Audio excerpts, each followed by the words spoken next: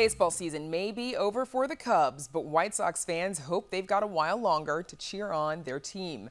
They got started this afternoon with a rally outside Guaranteed Rate Field. Amanda Vinicky joins us now from the site of this pre-playoff event. Amanda, what's happening over there? Well, Brandis, it was a party this afternoon outside Guaranteed Rate Field. I'm sorry to say that You've missed the party by now. It just ended at 7, but this Change the Game rally had a lot for fans. Get their pictures taken with the Sox mascot, Southpaw. You can snack on beefs and pizza, dance along to a DJ, get your picture taken also with a bobblehead, a giant bobblehead player, and you can compete in a quiz to win some White Sox merch.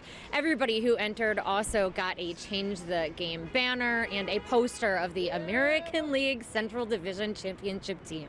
Now, I did meet a bunch of fans waiting in line for some of those activities, including Ozzy Chavez, who grew up watching Sox games with his dad and his uncle.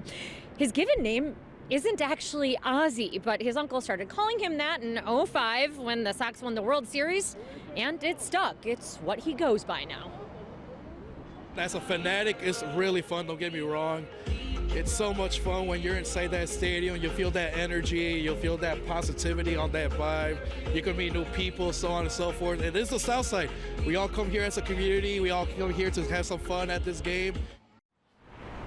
The Sox have built this team for years and brought in some former Cubs players along the way, which makes things, you know, a little bit of crosstown fun. They won the American League Central Division, will play two games in Houston starting Thursday before heading back to Chicago Sunday.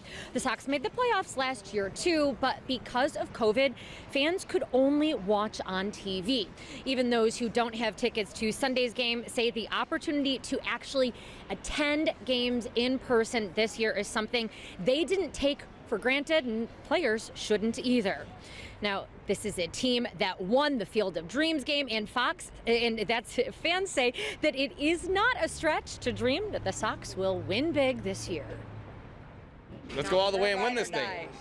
We're ride or die White Sox fans. I think we have the probability we could win the World Series. I think What they say, cream always rises to the top and we full of cream over here on the south side of Chicago. You got to stand next to your team. Being the south sider here, you got to have loyalty, and that's what we have for this team right here. How good is this team?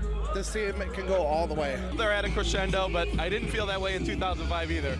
So we'll see. I'm always fairly pessimistic about it just because I love it so much that I hate losing, actually probably more than I like winning.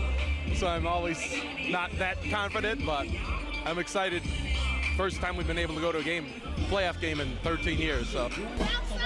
There's only one team in Chicago. It's 35th and Shields right here. Now, the Sox last won the World Series in 2005 and then had to, of course, stand by and watch as the Cubs brought home the title in 2016. Now, this is the year they hope to bring it back to the South Side. Now, again, the Sox playing in Houston for a couple of games, but for returning on Sunday, well, they'll be playing right here at 35th and Bill Veeck Drive. You hear that enthusiasm, do you, Brandis? With I a whole lot it. of cheers. Back to you. Thanks so much, Amanda. Clearly some excited fans out there today. And later in the program, we'll talk with White Sox General Manager Rick Hahn about the upcoming playoffs and more.